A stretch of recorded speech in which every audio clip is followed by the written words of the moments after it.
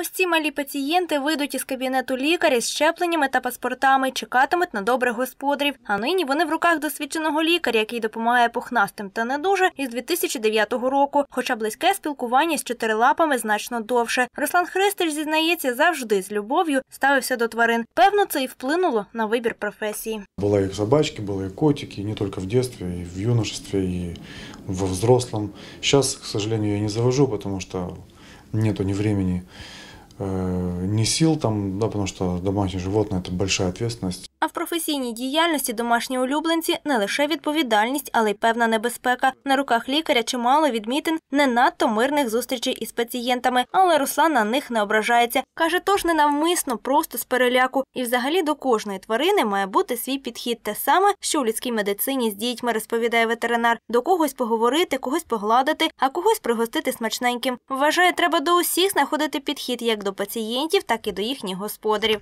Найважче у професії, каже Руслан, це те, коли розумієш, що не можеш допомогти тварині. Тоді чотирилапого шкода й господарів бідолахи. Усі історії пропускає через власне серце, а найпершого свого важкого пацієнта пам'ятає й досі.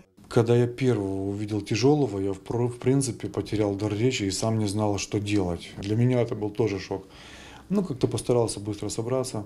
Сейчас, в принципе, уже когда приносят, все очень быстро происходит, реанимация, уже все отложено, уже все в голове, в пальцах, в руках, в знаниях.